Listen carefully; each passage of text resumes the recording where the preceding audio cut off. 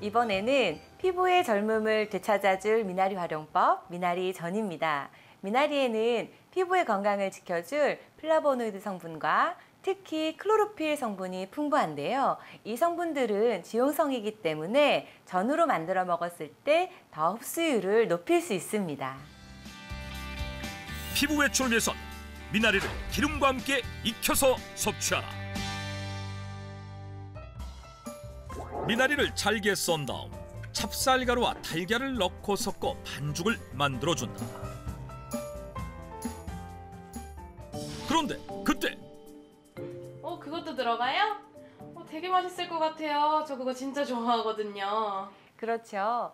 클레오파트라가 사랑한 식재료이기도 합니다. 바로 굴인데요. 굴은 멜라닌 색소를 분해해서 살결을 하얗게 피부를 부드럽게 해주는 효과가 있습니다.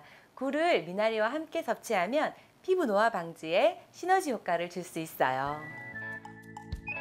피부 회춘을 위한 최상의 조합 미나리와 굴.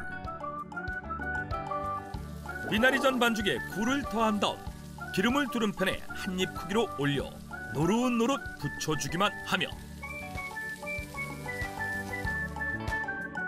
지용성 비타민 성분들이 피부에 쏙쏙 피부 노화 방지에 도움을 줄 미나리전이 완성된다.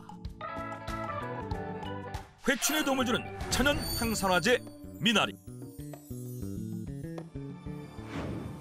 하지만 칼륨이 다량 함유돼 있어 신장 질환자는 주의하고 일반인의 경우 하루 세줌 300g 이내로 섭취하는 것이 적당하다.